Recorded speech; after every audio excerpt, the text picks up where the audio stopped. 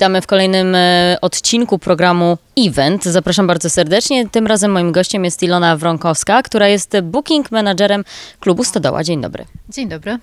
No dobrze, to może zacznijmy od samego początku, czyli e, kiedy powstała Stodo- Stodoła? E, Stodoła powstała e, dokładnie 59 lat temu, e, 5 kwietnia na ulicy Emilii Plater. Było coś w rodzaju takiego, takiego miejsca jak stołówka dla pracowników, e, którzy budowali Pałac Kultury i Nauki. E, I tam też studenci postanowili zorganizować e, swój klub, po tym jak ci pracownicy się mm, stamtąd wyprowadzili. I to była pierwsza siedziba Stodoły. Potem Stodoła była na Trębackiej, na Wspólnej, aż wreszcie po kilku jeszcze zmianach trafiła na Batorego i tak tutaj jesteśmy od kilkunastu lat. To skoro 59, czy możemy się spodziewać jakichś mega wielkich obchodów w przyszłym roku? Planujemy, e, planujemy obchody na 60-lecie. Jesteśmy, e, że tak powiem, w trakcie prac. Trochę nam uniemożliwia to sytuacja koncertowa, ponieważ e, w ciągu roku dzieje się sporo koncertów i jesień też jest takim intensywnym czasem koncertowym, bo prawie codziennie mamy koncerty od października do połowy grudnia, ale pracujemy nad tym. A czy ty jesteś w stanie powiedzieć, ile osób przewinęło się przez Stodołę przez te 60 prawie lat e, pracujących w Stodole? E, nie jestem w stanie powiedzieć, ale na Dużo. pewno Dużo. kilka tysięcy. E, natomiast y, ja sama w Stodole pracuję do 8 lat, więc tych wszystkich czasów nie pamiętam, bo kiedyś to był głównie klub studencki, teraz e, w którym działały różne sekcje, sekcja fotograficzna, e, sekcja filmowa e, i tak dalej, i tak dalej. Teraz y, y, jest, klub jest stricte sprofilowany na organizację koncertów. No dobrze, a w tej chwili ile osób pracuje tak po prostu w Stodole? Nie przy koncertach, tylko w samej Stodole. E, Taki sta, stały skład e, w Stodole to jest około 15 osób. E, Dział dziewczyny z działu promocji, e, dział produkcji, e, ja zajmuję się bookingiem, e, nasz szef, do tego jeszcze dziewczyny z sekretariatu, księgowość, recepcja, plus pracujemy z freelancerami przy produkcjach koncertów.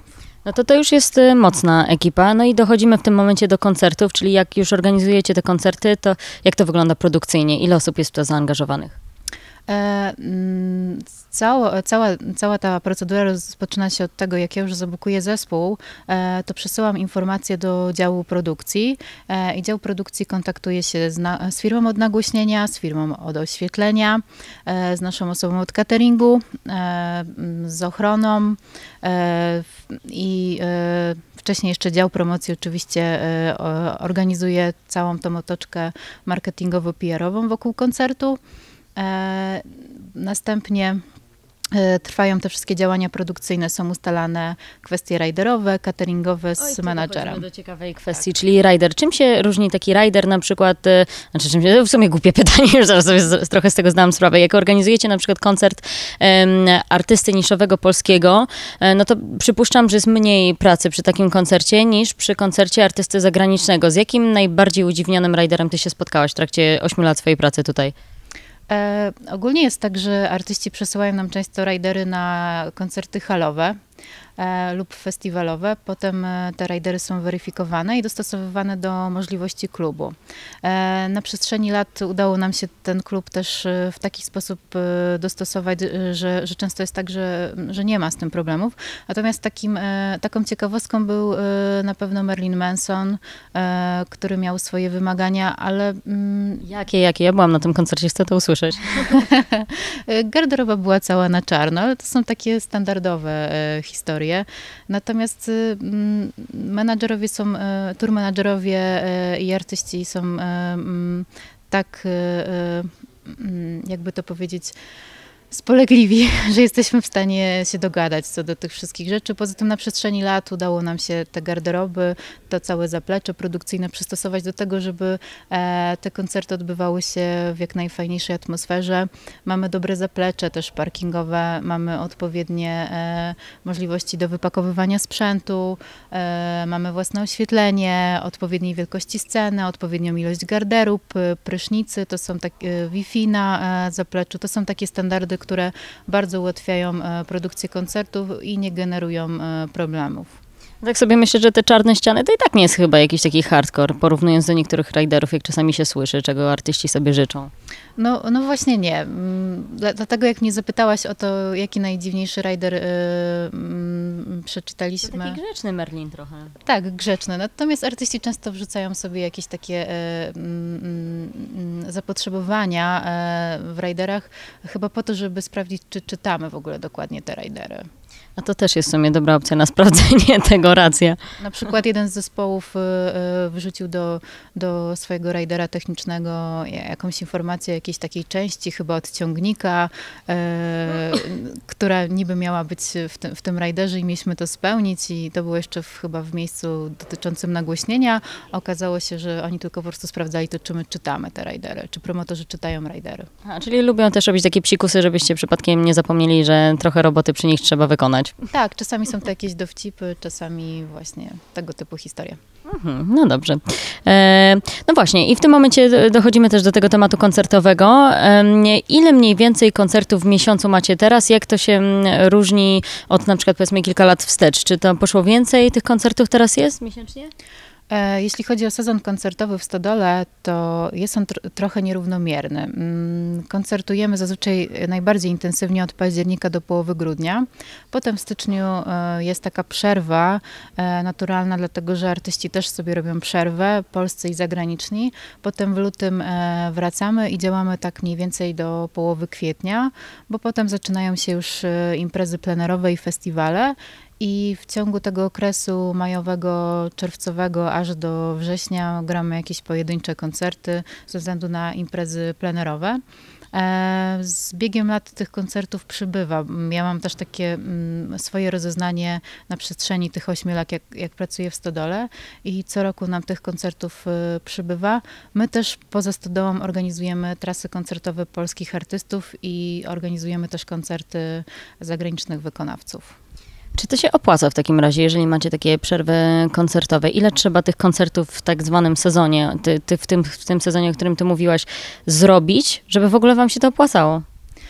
E, to jest ciężki kawałek chleba, e, bo zakładając to, że, mm, że, e, że, program, który jest przygotowany koncertowy, jest nastawiony, że, że każdy koncert przyniesie jakiś zysk, e, jeden większy, drugi mniejszy. E, niestety trafiamy też po drodze na takie sytuacje, gdzie te koncerty się nie sprzedają i czasami jest tak, że my jako organizator do tych koncertów dokładamy.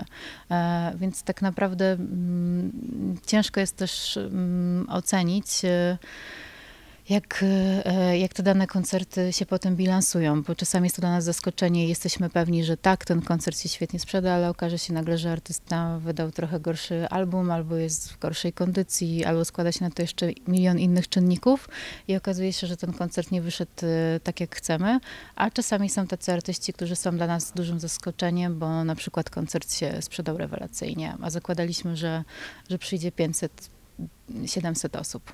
Czyli właściwie to jest potwornie stresująca praca, bo nigdy nie wiesz, czego się spodziewać.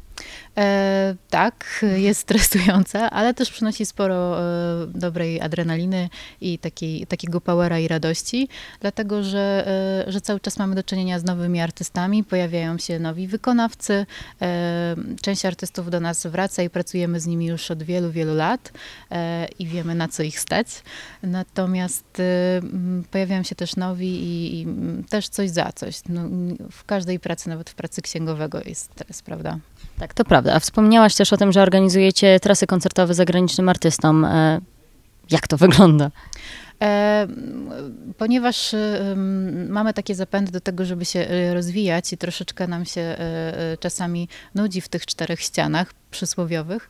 E, mm, I wiemy, że nie wszyscy artyści są w stanie u nas wystąpić z różnych powodów, dlatego że honorarium jest y, wysokie, albo mm, ta ilość publiczności, która może się zgromadzić w stodole, to jest za mała ilość tej publiczności, dlatego że artysta ma już taki status, że, e, że może że występuje w większych salach, albo y, jest takie zapotrzebowanie na to, żeby zorganizować kilka koncertów. I tak y, udało nam się zorganizować cztery koncerty w ramach akustycznej trasy z Kankanenzji. E, to były takie koncerty, które po raz pierwszy organizowaliśmy w teatrach i w takich salach, e, gdzie widownia była siedząca. E, w lutym organizowaliśmy koncert Eda Sheerana na Torwarze.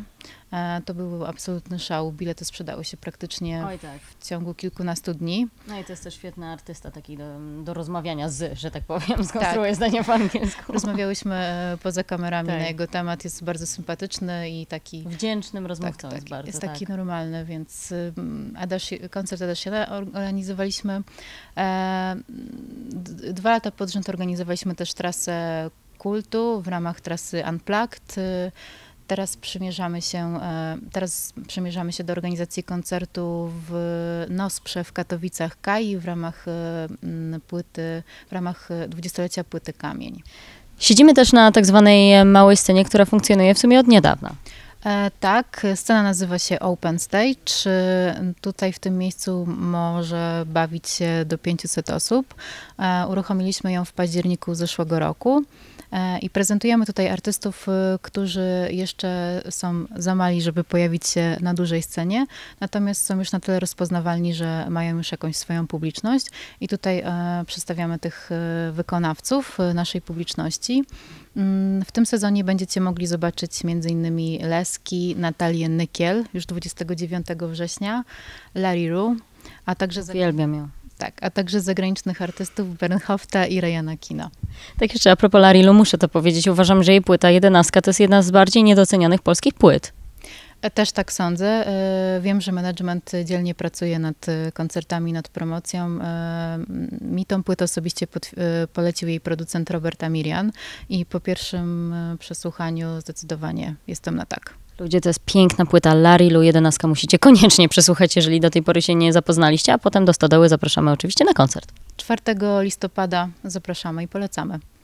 No i też jeżeli chodzi o działalność Stodoły, to organizujecie koncerty w innych klubach. Tak, e, pracujemy, m, pracujemy też z innymi klubami, z klubem Studio w Krakowie, z klubem B90 w Gdańsku, z klubem Ether, z klubem Esculap. Oczywiście dopasowujemy te kluby do artysty, natomiast mamy fajny kontakt z tymi miejscami i współpracujemy z nimi przy organizacji koncertów. Wymieniamy się też doświadczeniami i informacjami na temat naszej działalności. Super. To rzeczywiście sporo pracy przed wami, sporo wyzwań, czyli stodoła to nie tylko stodoła, ale też mnóstwo innych e, rzeczy. Ale to właśnie, to skoro też już jesteśmy przy tym, co zorganizowaliście, to co przed wami, bo czeka nas wszystkich w sumie, bo mnie również, bardzo ciekawe wydarzenie w najbliższy czwartek i piątek. Dokładnie, w najbliższy czwartek i w piątek e, w Stodole odbędzie się Live Europe Showcase. To jest taka impreza, która ma charakter, e, mm, która ma taki charakter, podczas którego prezentujemy młodych artystów, e, mm, którzy mogą też zaistnieć e, poza granicami naszego kraju. Dodatkowo też przyjedzie kilkunastu artystów spoza Polski, z krajów z Unii Europejskiej. To są zespoły, które są rekomendowane przez naszych partnerów, czyli klubów, które należą do platformy Life Europe. I to są e, artyści, którzy chcą się zaprezentować, bo są nowi, ale będą też e, tacy, których my na scenie polskiej bardzo dobrze znamy. Tak, będzie Brodka i Dawid Podsiadło, natomiast jeśli chodzi o staż i e, tych artystów, to oni są e, dla nas młodzi, e, ponieważ artyści, którzy występują w ramach e, projektu Life Europe i tej platformy muszą spełniać pewne kryteria. Tymi kryteriami są między innymi ilości dotyczące wydawnictwa płyt i nie, nie mogą wydać więcej niż dwie płyty, nie mogą funkcjonować na rynku dłużej e, niż określona ilość lat i nie mogą mieć e, takich spektakularnych sukcesów i tras koncertowych e, poza granicami własnego kraju. I wtedy te zespoły, które spełniają te warunki, wpisują się w, w te wytyczne, które pozwalają udział w projekcie Life Europe. No dobrze, czyli jeżeli mamy doprecyzować, jak to dokładnie ma wyglądać, to są dwa dni, w trakcie których na dwóch scenach zagra 28 artystów, dobrze mówię? Dokładnie tak. W tym, Nie, e, Nie w, tym, e, w tym e, 14 artystów wystąpi na tej scenie, która jest za nami, e, na scenie Open Stage. Między innymi Kari, której akurat nie mogę się doczekać, uwielbiam ją koncertowo. E, Ja również widziałam ją raz e, chyba na Openerze i też e, pojawi się u nas tutaj solo, także też czekam. Właśnie, czekam, bo niebawem powinna, to znaczy niebawem, no ona pracuje nad trzecią płytą i myślę, że materiał z tej trzeciej płyty zagra tutaj u was. Mamy taką nadzieję, czekamy. No dobrze, to ja w takim razie e, życzę Wam powodzenia. Życzę, by Stodoła miała kolejnych 60 lat, jak nie więcej, przed sobą w dobrobycie e, i przede wszystkim, żeby jak najlepsi mm, artyści do Was przyjeżdżali, ale też tacy właśnie początkujący, którzy po prostu dobrze wróżą. Dziękujemy i zapraszamy na koncerty.